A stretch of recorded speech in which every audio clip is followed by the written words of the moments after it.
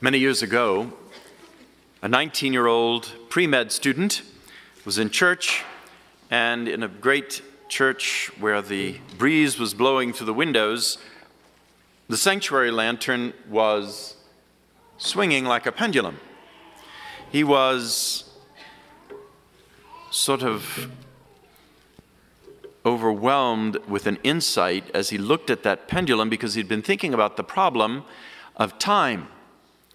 And you see, at that time, most clocks were off about 15 minutes every day, either too fast or too slow, and they hadn't been able to solve that problem.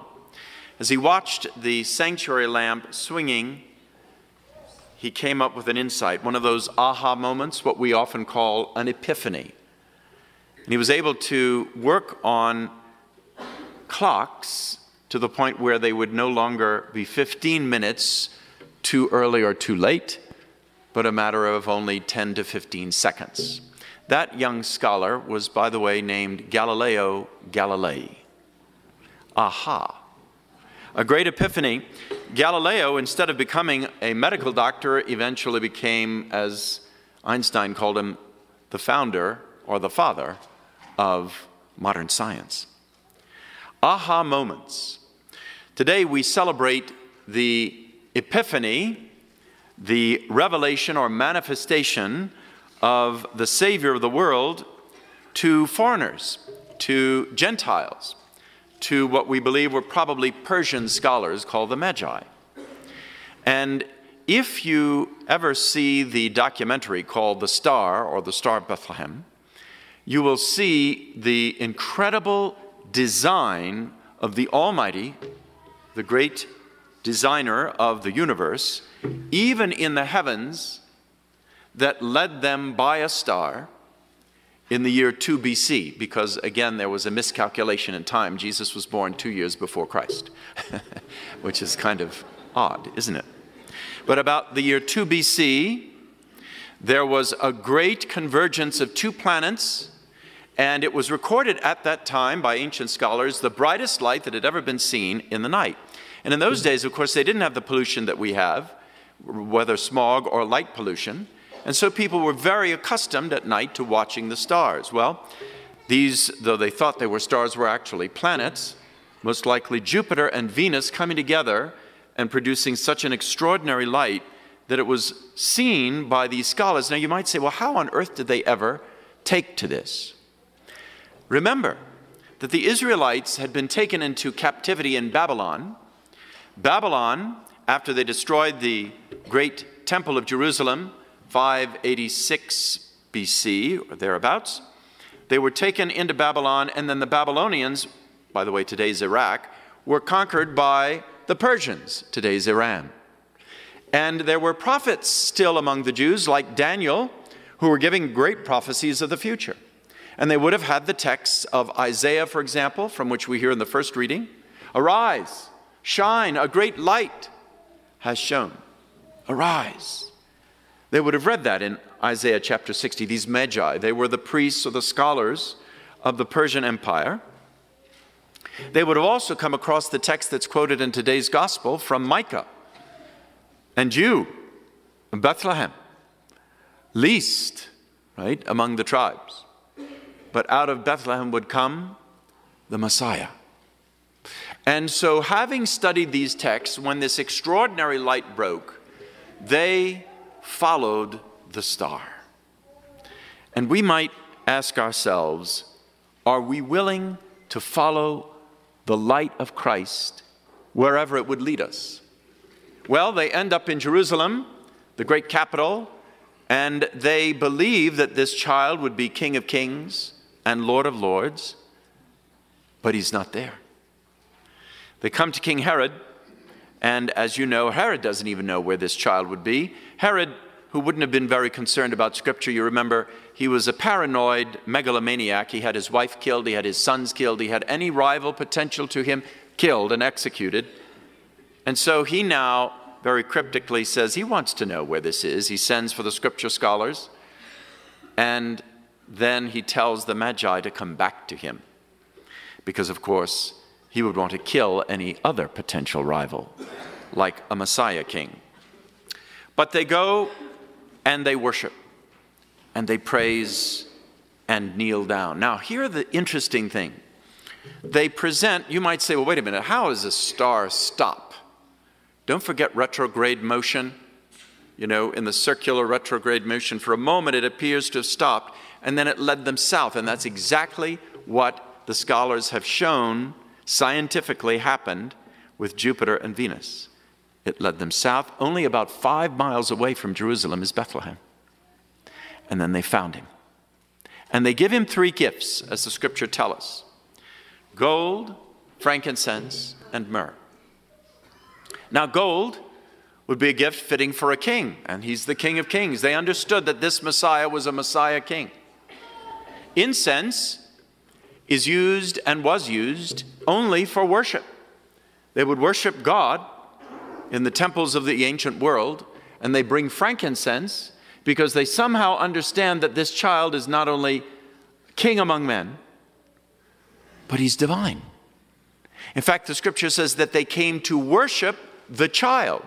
Now, nobody worships a child. Oh, grandparents may really love those kids, but I hope they don't worship them, right? And yet the scripture says they came to worship the child, to worship him. They understood he's not only man, but he's divine. And then the third gift, perhaps the most mysterious, was myrrh. Myrrh was used to anoint a body at death. Now, could you imagine going to a christening party and bringing some myrrh for the child, the newborn? If the parents understood what myrrh really represented, they'd throw you out. How dare you? But they understood the prophecy also in Isaiah of a suffering servant, that this Messiah would suffer and offer his life for the people, for the sheep of his flock. And so all of these gifts must have mystified Joseph and Mary as they see them being presented by these great scholars. They had had the poor shepherds, right? The Israelite shepherds who came to worship, and now these scholars from the East who, realizing that King Herod was not a godly man, then avoid him. But tragically, Herod still has the children killed when Joseph and Mary flee with their child to Egypt. Are we willing to go to any length to follow the light of Christ? These scholars took an arduous journey from Persia in the east to the Middle East in Israel. Where will it lead us? You know, we all face things that in this life sometimes are unbearable. You know, you may say, I'm sick and tired of being sick and tired. I've got to finally do something about X, Y, or Z. Well, I'll tell you about a young lady who did that. Bessie Pender and her husband Ben married very young in life. They had a number of children, and she had wanted to be a teacher, but she wasn't able to finish her education at, in college. And so she took a job at a school, but doing janitorial work at night to try and help her husband with paying the bills and caring for their family. This went on for some years, but she really wanted to be a teacher. And so finally, she decided she was going to register for college, and as long as it takes, well, it took her seven years to get her teaching degree. But she finally got it, and she took a job in that public school system where she had been mopping floors, and now in the day, she was teaching children. And in a sh- few short years, she was named Teacher of the Year. Never settle for less than what God has inspired you to do. She knew she was meant to be a teacher. It took her a long time to get there, but she did it. That was her epiphany, her moment to say, I've got to do it. What's your epiphany? It was a great Peanuts cartoon years ago in which Charlie Brown and Lucy have another encounter. And in this one, Lucy says to Charlie Brown, Life is a mystery. Charlie Brown, do you know the answer? And the philosopher Charlie said this Be kind, don't smoke, be prompt, smile a lot, eat sensibly, avoid cavities, mark your ballot carefully, avoid too much sun, send overseas packages early, love all creatures above and below, insure your belongings, and try to keep the ball low. Great wisdom, right? And not everybody appreciates it. You know what Lucy said in response? She said, Hold real still, Charlie Brown, because I'm going to hit you with a very sharp blow to the nose. she didn't get the epiphany. She didn't get the revelation of truth and the manifestation of goodness. Do we? Arise, shine. Your light has come. Yes, there is great darkness in our world, but we follow the one who gives us the way out, the one who shines the light in the darkness. Think what is it that we can give in return for such great goodness?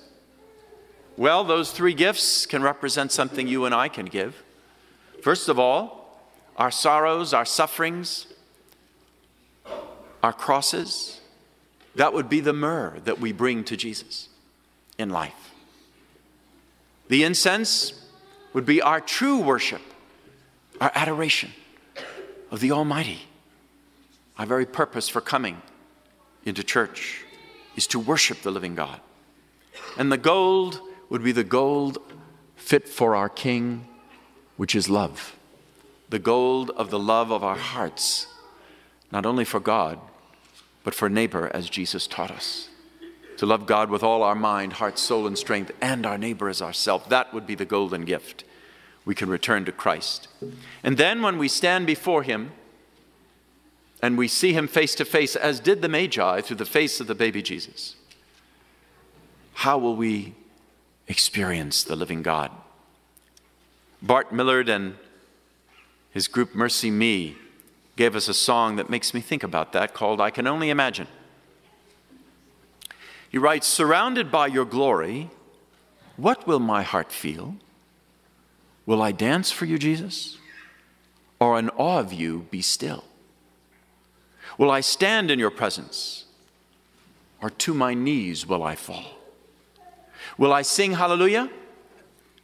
Will I be able to speak at all? I can only imagine. Yes, I imagine when we finally meet Christ face to face, our Savior King, our God who humbled himself to become one of us, and our God who would give his life on a cross for us, we probably won't be able to speak at all. All of our questions will be answered because we will be kneeling before love incarnate, the Word made flesh, the Savior of the world. And so I conclude today with the words of a great and blessed writer, Robert Louis Stevenson, with his prayer for the Christmas season.